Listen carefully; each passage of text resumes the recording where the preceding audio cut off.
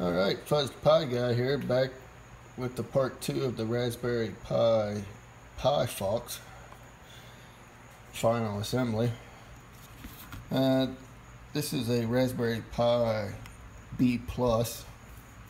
Got the antenna hooked up right here. Comes across into a 90, then into a filter. Got the antenna. This is a battery pack 2500 milliamp power bank that I took out of its case. This here will power the Pi. This here will charge the battery.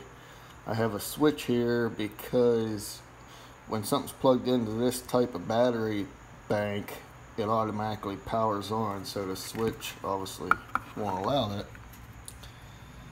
So we'll turn this on. Can see, Pi's booting up. I got the old HT here.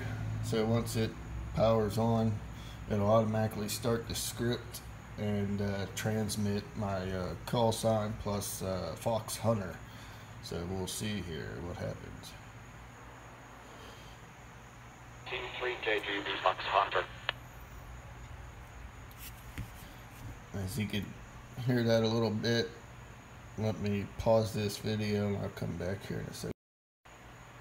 Alright, should be coming up here again. We'll see.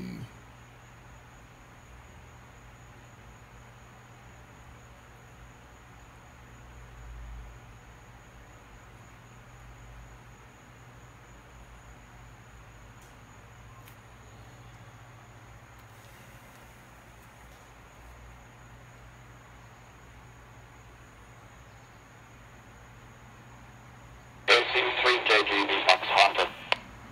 All right, there we go. So it works and uh, it transmits and all that. Thanks for watching. Stay tuned for more videos.